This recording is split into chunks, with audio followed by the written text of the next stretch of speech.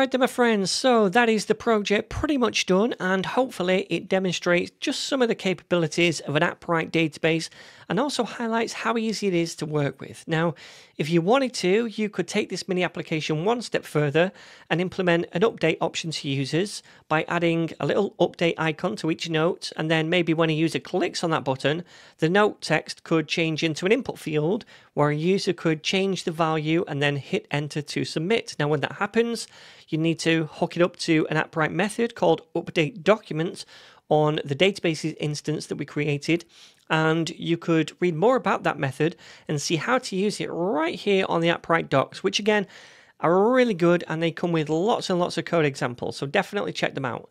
Also, if you wanted to venture further into different services AppWrite has to offer, then definitely check out uh, some of those examples here in the docs as well. So, for example, if you wanted to add authentication to the app, then you can take a look at this account service, which provides a way for you to authenticate users.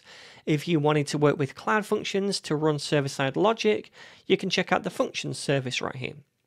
There's also a whole section on building applications with AI for things like audio processing and text generation. So, if you want to implement AI into your applications, then AppWrite can even help you do that as well.